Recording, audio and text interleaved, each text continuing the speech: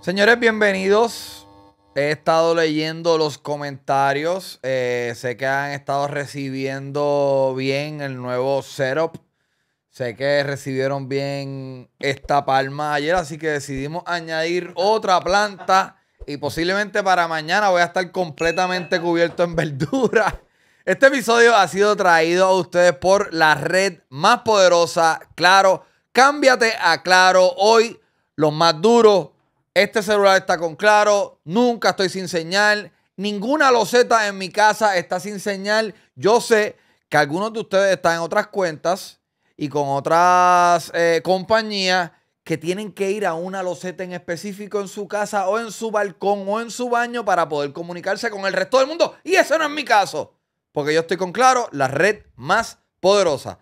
Eh, en el día de ayer, Scofield y yo grabamos un contenido eh, en donde más o menos cubrimos la tiradera de Almighty con Molusco. Lo iba a subir a las 7 de la noche y entre, el, entre nuestra grabación y subirlo, Molusco subió su reacción. Y me di cuenta que nuestra reacción estuvo errónea. Porque en mi reacción yo dije, yo nunca había visto a un rapero. Yo empiezo en el contenido de ayer, no sé si te acuerdas, Sí, diciendo, sí. yo nunca había visto un rapero. Las tiraderas son entre rapero y rapero, no entre rapero y medio. Y me acordé de 7-9. ya, es verdad. Un saludo a 7-9, by the way, estoy jodiendo. Pero eh, lo vi y, y recapacité porque está bien dark la tiradera. ¿Tú, tú, tú lo viste? Yo vi el. Sí, lo vi completito. la- Tú te, tú te diste cuenta ayer mismo. O sea, como que nosotros leímos, leímos uno y el segundo tú lo dejaste a mitad. Es que o sea, leyendo a mitad hizo como que pichaste y seguimos hablando sin leer porque habían unos insultos que, pues, aunque los- uno los lea porque los escribió él, pues se escuchan como quiera, Es como que- fuerte. está muy fuerte. Entonces yo pienso que no. Un poco no, no procede a hablar de Dios y de la muerte a la vez.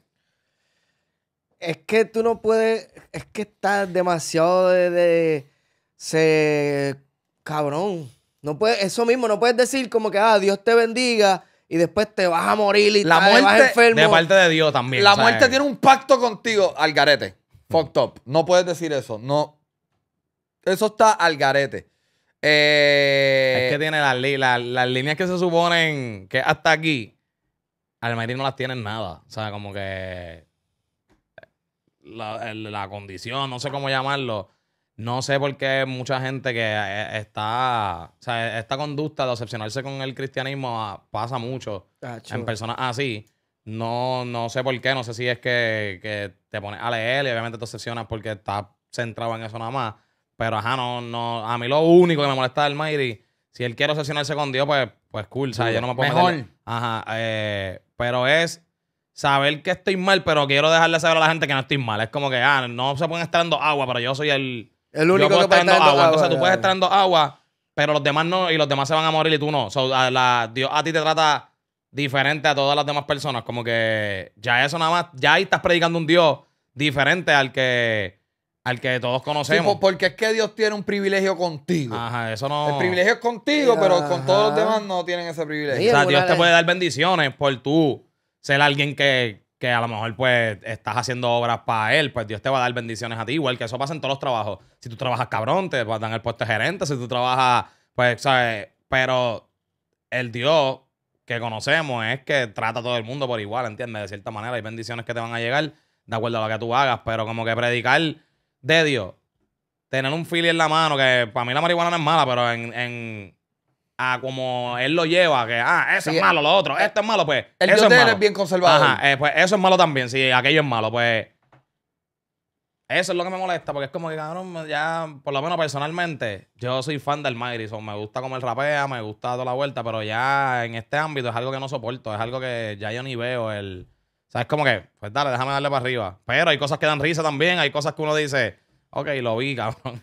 No, en una le está diciendo como que, ah, ustedes se están tripeando lo de Ciervito, loco, se lo están tripeando porque ¿Y aquí, tú para has quién era eso? de ¿Para eso. quién era eso? Para todo el mundo, porque en verdad todo el mundo Sí, vacila sí. ahora con lo de Es que la gente Ciervo. ahora dice siervo, pero él es alguien que, claro, él es alguien que llega y, aleluya, y hay que decir aleluya, ¿entiendes? Ah, si el Vito esto, pues la gente empezó a tripear.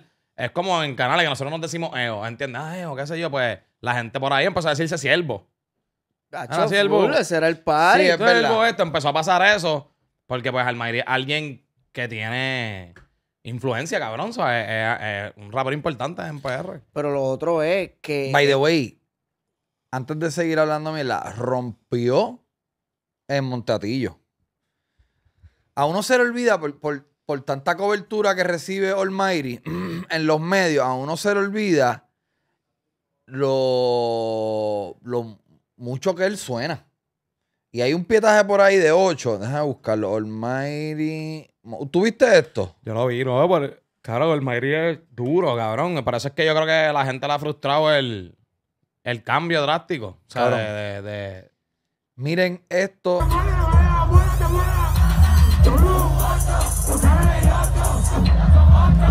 Ya, cabrón. Claro, cuando esa canción salió, eso fue. ¡Diablo! Pero eso fue palo, hace palo. seis Sí, años. Sí, fue para atrás. fue para Tiene atrás. un montón de canciones buenas. Es lo último. lo- Almighty lo- puede hacer un concierto con las viejas, nada más, si le da la gana. ¿Y qué es lo que está haciendo con Trap House? Contra Javier hizo, Trajao tiene un. Este. Trap Sessions, una Se sesión. llama Museando, que es como coger artistas nuevos y qué sé yo. Entonces, yo, Anthony, que es de, de Trajao, que ha escrito un montón de palos también, que a lo mejor la gente que no lo sabe, eso es alguien que es compositor y también era cantante, pero estaba bregando con lo que es Trajao, que, que también es de la Es verdad, plataforma. la gente no sabe que, que la, la vuelta de Joe Anthony en, el, en la industria. Sí, mucha gente no Hay gente que lo sabe, pero hay otra gente que no. Pues uno de los de los museando es él con el Mayri. O sea, no lo hizo él solo, lo hizo con el Mayri. Y el Mayri sacó una canción hace poco que se escucha súper bien. O sea, se escucha mejor que todo lo que ha sacado. Más sale esa después y se escucha bien también. La, la gente empezó a decir como que, ah, mira, viró. Le lograron sacarle al Mayri que, que todo el mundo está esperando, ¿entiendes? Y de momento va ahora para Montatillo para acá y la está rompiendo. Va a tener una, un, un tour por España.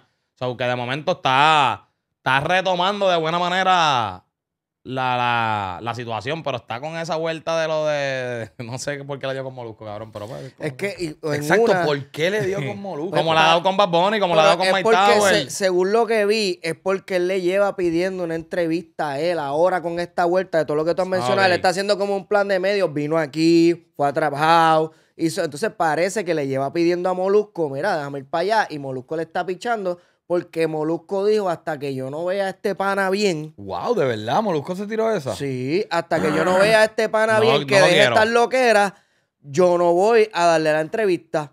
Que básicamente fue lo que le dijo este Omi con Arcángel con lo del featuring. Papi, si tú sigues este, entre aquí y allá, no vamos a soltar la canción.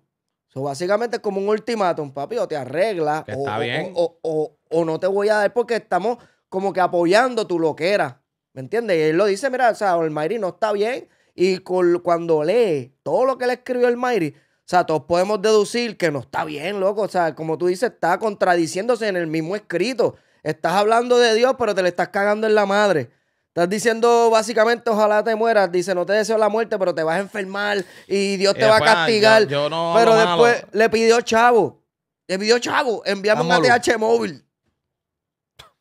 Le dice, envíame un ATH móvil por la luz que te acabo de dar. Ya. O sea, y esto te está hablando el Espíritu Santo. Que yo, papi, mala mía. Pero yo aquí hablando sin saber, esos son viajes, cabrón. Te fuiste Sí, en un sí. viaje. ¿Tú crees? Hablando sin saber. No hay de otra porque no hace El sentido. track record de Almighty ha sido de regular desde problemas con Farruko. Es más, problemas. Él estuvo en Montatillo, que, que, ¿verdad? La organización, la figura detrás de eso fue Anuel.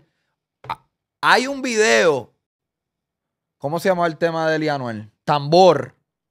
Que nunca salió. Y yo me acuerdo haber visto eh, como stories o contenido en redes de ese video. Se había una producción con, como con una banda de tambores.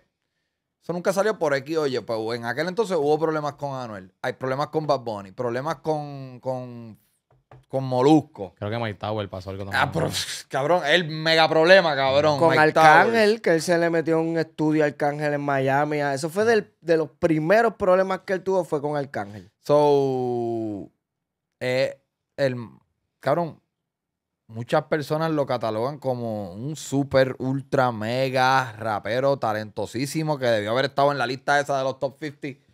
Eh, un tipo talentosísimo ahora mismo está en un buen momento. El- lo que hizo con Trap House, museando. El, la canción esa, no sé cuál es, la que salió recientemente, que suena eh, más fresh. Lo vimos en Montatillo. Por ahí viene el Eurotour. Lo anunció en sus redes. Brutal. Pero hay un video que me dijeron: Tienes que ver esto, cabrón. Tienes que ver esto. Esto es un momento Mm. en, en Montatillo en donde él quería predicar. En verdad no lo he visto, no sé. Él, él- él está. Así, lo vas a ver, pero él básicamente él está casi predicando. Está hablando de la fornicación. Ok, vamos a ver esto. ¿En serio? La fornicación no te va a a nada, nunca vas a descubrir la vida del sonido, papi, el sonido que está hablando Dios. La fornicación.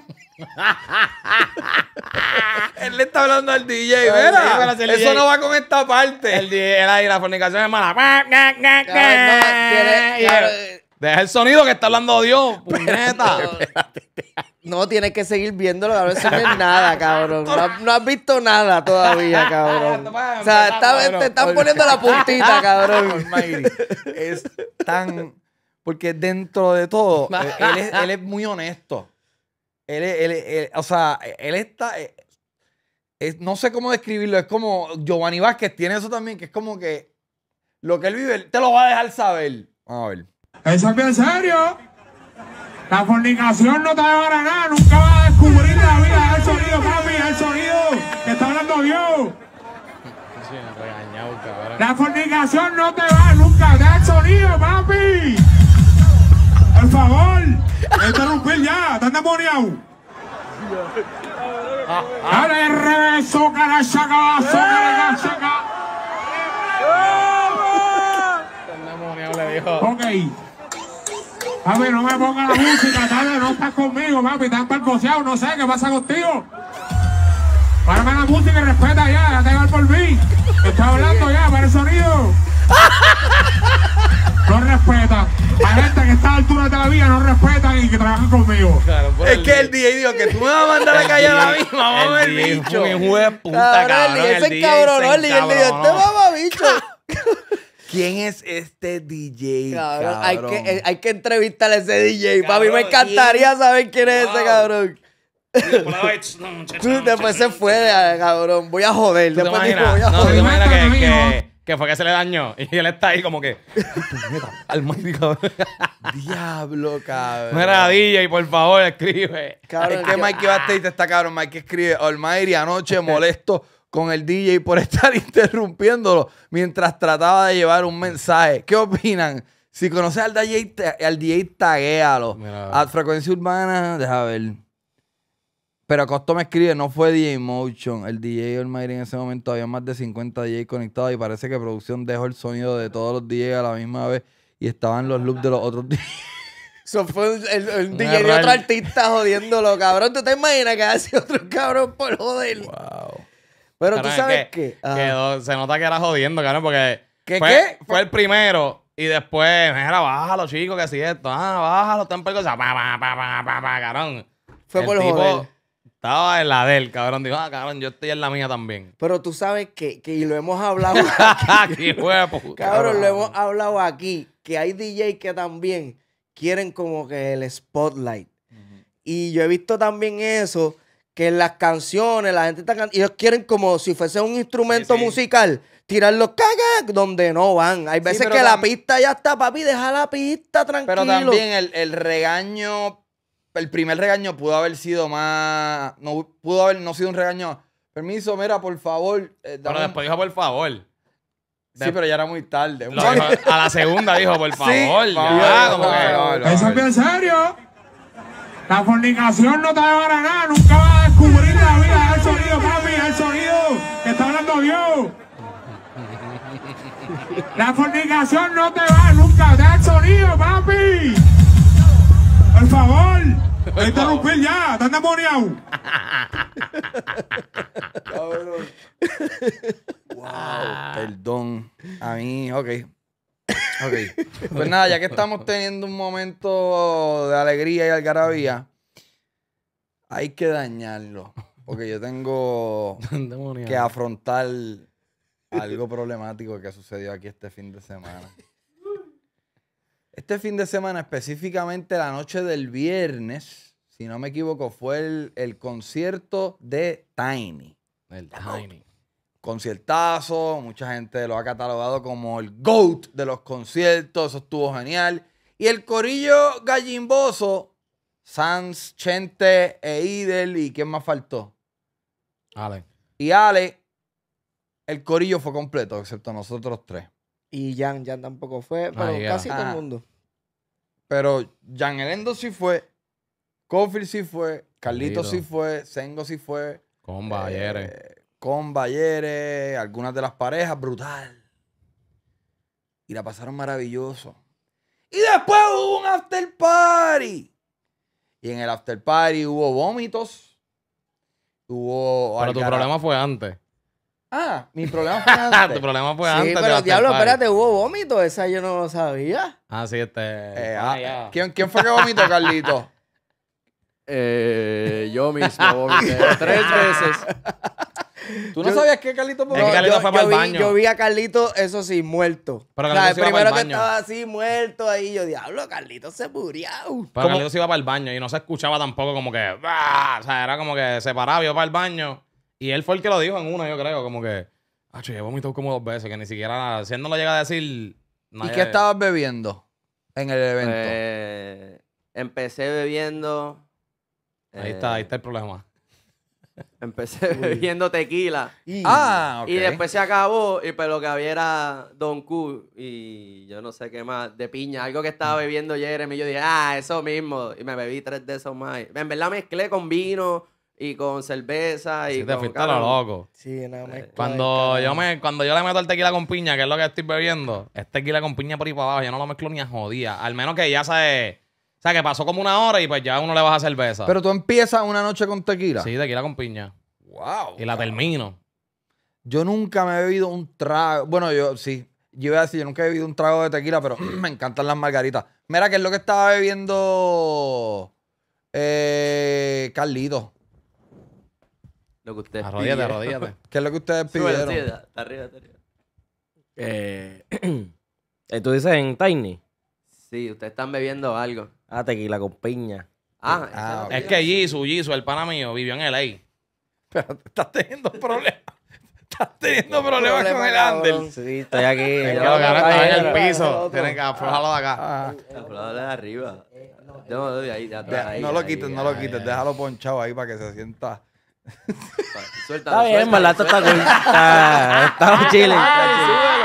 Eh, Suelta el handle. Eh, Suelta, Eso mismo, lo que estabas tocando, lo que estabas tocando. aflójalo, aflójalo, Ese, aflójalo. ese, ese. Ahí, ahí. Aflójalo. Ah, Completo. está llamado. Tranquilo. Para tu lado, pon de ti, pon de ti, pon de ti. Cabrón, es que está pillado y no quiero Está romperlo. estrogo el hijo de puta. Rompela en vivo, olvídate. cabrón. Y hasta pillo, sí. Fue- Sí, mira, ahí sí. está, comodín. No, puedes subir hasta aquí, hasta acá arriba. Pa. Ahí está. Ave. María, ahora sí.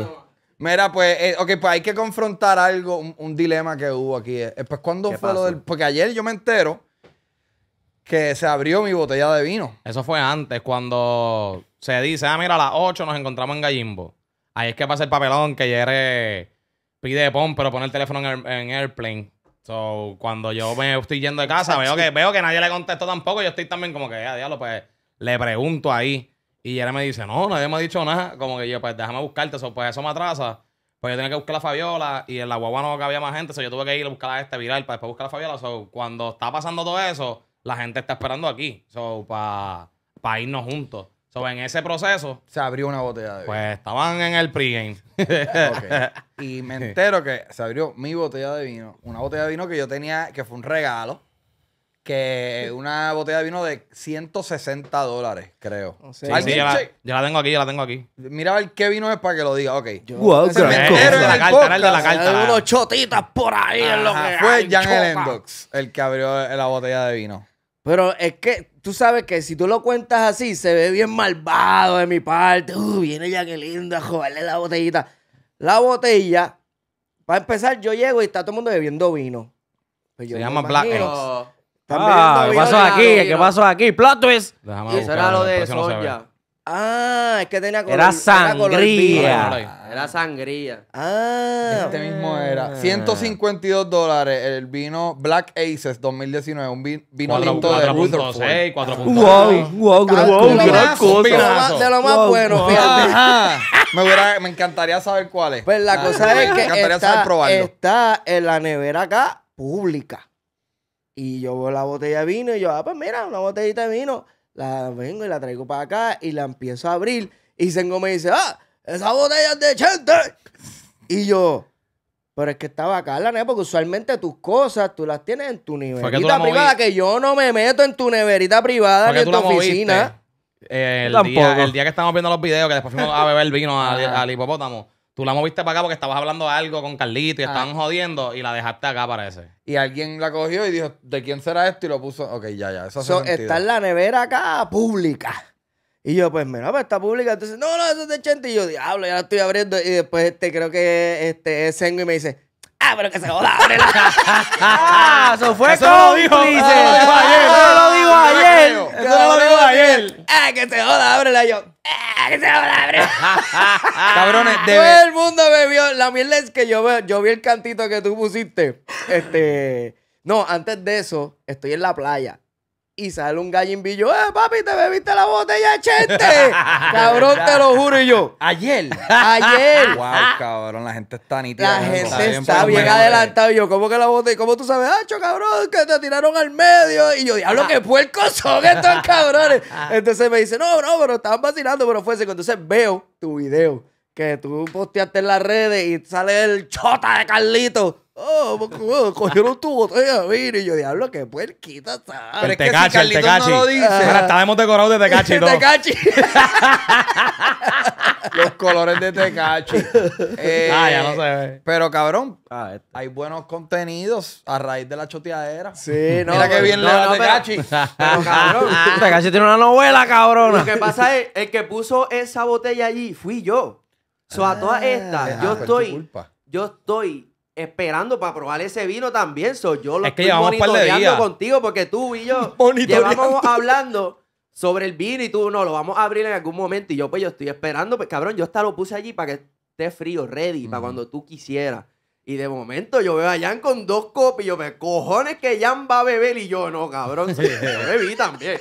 Pero esto sí, fue cabrón, empezando es la mejor con- es mejor contenido ver tu reacción en vivo, cabrón. Yo no te lo dije fuera de cámara. Eso hubiese sido más choteadera. Acá, acá, entre tú y yo, mira, este fue, yo te lo dije, cabrón, al frente de todo el mundo. que- Ajá, ajá.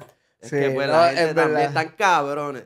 Pero vino súper lleva cómico. dando vuelta aquí rato por eso mismo, porque gente, no lo abran todavía. Mira, No, vamos a abrirlo, no lo abran todavía. Es que cabrón, Vamos a darle hoy, vamos a darle hoy. No, a mí me- No lo abran todavía, cabrón. Chente prefirió irnos para el hipopótamo, beber, antes de abrir Antes esa de botella. abrir la botella, Y la abrieron, cabrón, es random. que yo no quería, voy a ser bien honesto, yo no quería compartirla, cabrón. Ah, pues, papi, te la tenías que llevar. Un vino de ciento y pico de pesos entre cinco o seis personas, Sí, eso es cabrón, nada. una mierda. Sí. Mira, Ah, el residente acaba de subir algo. Vamos a ver esto.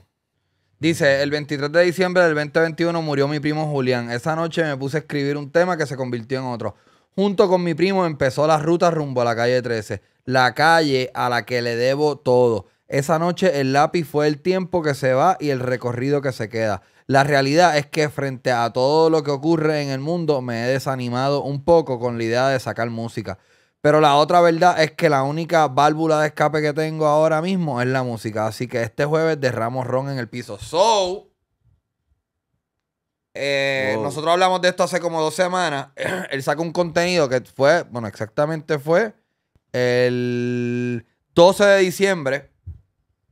Eh, él hizo este escrito y anunció que su álbum no iba a ser lanzado por los acontecimientos, por Palestina, por lo que está pasando en Palestina.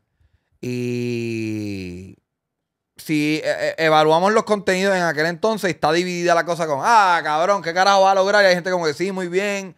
Eh, compartir contenido de lo que está pasando en Palestina sí tiene un efecto. Hay otra gente que dice, ¿qué carajo puedes lograr tú de acá? Independientemente de lo que piense él, por ahí viene música nueva.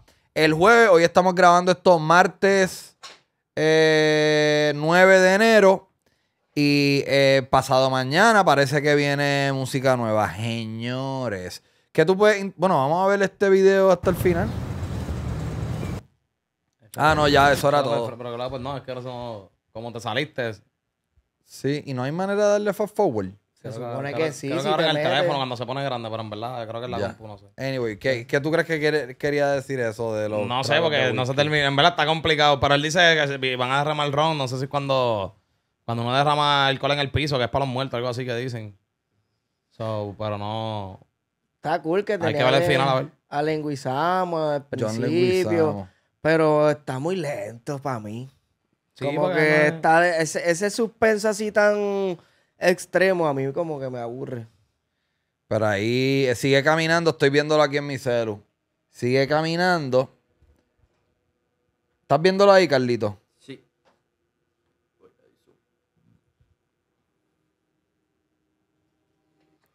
Y de repente no hay nadie.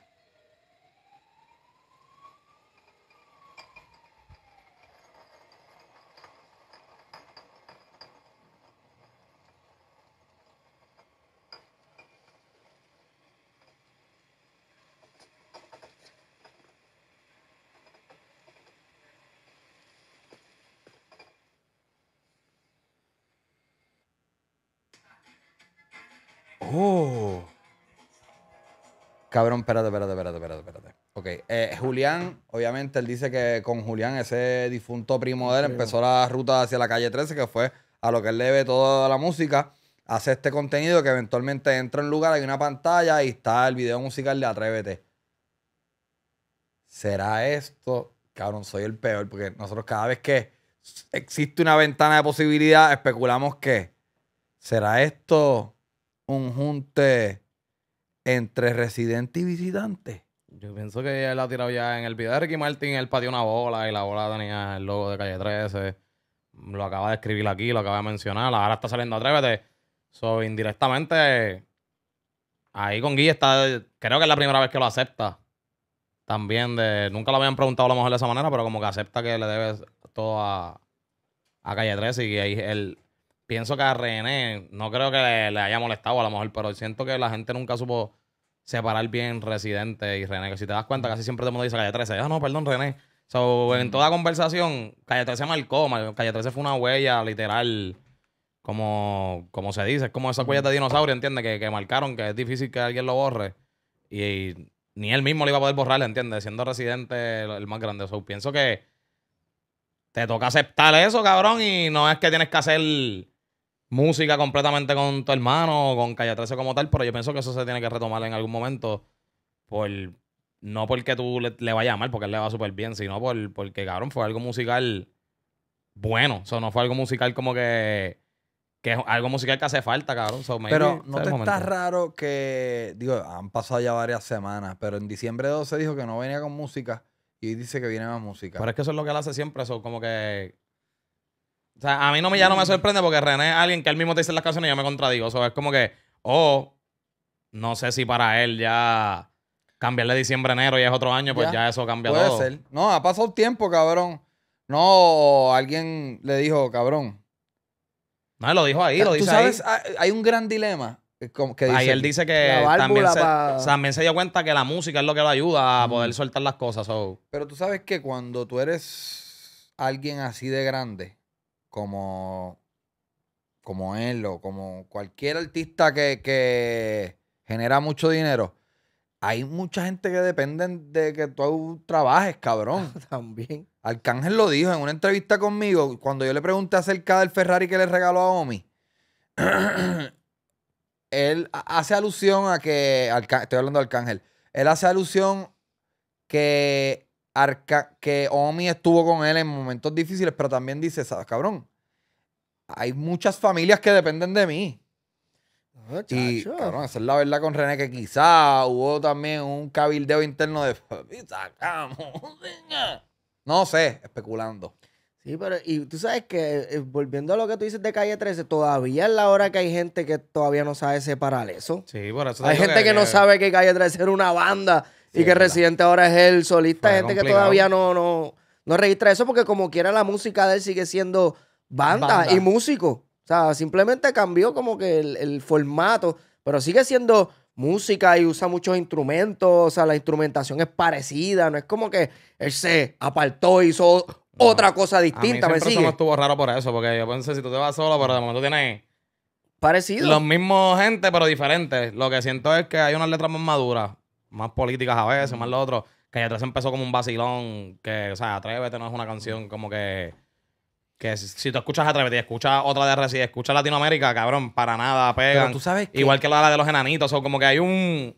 Calle 13 fue como un momento de... De irse algo bien loco, que no era ni como, no se podía llamar comercial, pero ahora se le puede llamar comercial. Pero en ese momento era algo loco. pero con pistas bien cabronas. Era En ese primer disco, él le tira a Puff Daddy. Hey. Sí. Él le tira por Daddy, le Two pack, tira- three pack, y hasta los four pack, o los six pack, algo así. En todas. Él tenía una canción que le tiraba a alguien siempre. en esa.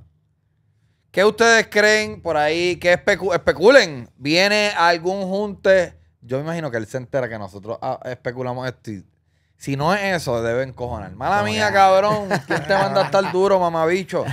Eh, especulen por ahí para abajo en los comments. Estamos pendientes. Scofield, redes sociales. Este, todas mis redes sociales son Rialengo y este 11 de enero, el 11 de jueves, ¿verdad? Este jueves es 11.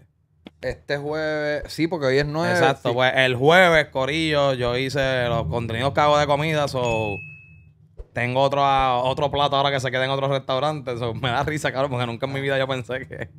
Mira, hay un hamburger en, en tal lado. En el viejo San Juan hay un restaurante que se llama La Picadera.